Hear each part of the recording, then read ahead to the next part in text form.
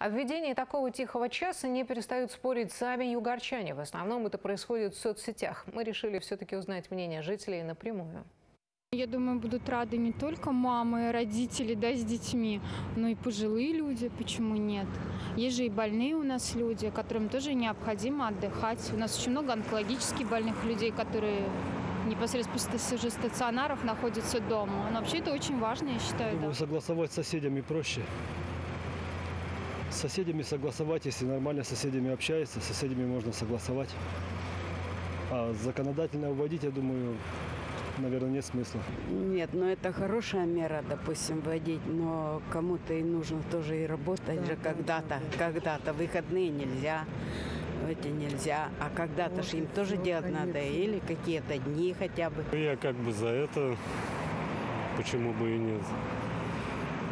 У нас соседи могут с утра до вечера делать ремонт или что они там делают.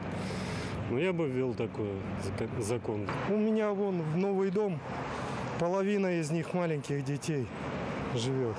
И я слышу мамочек, которые укладывают детей спать, и многие не дают, делая ремонт. Время как раз такое, что люди занимаются делами.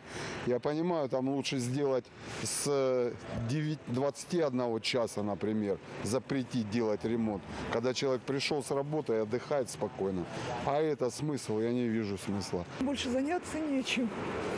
Ну, а когда тогда? После 12 ночи ремонтные работы делать? Глупо.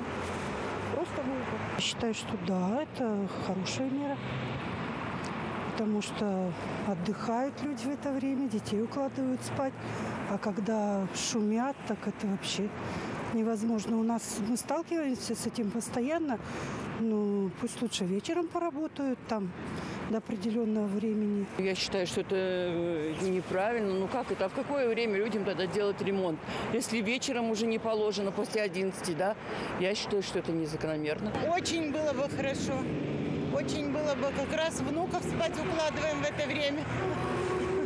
Так что было бы хорошо. Я за.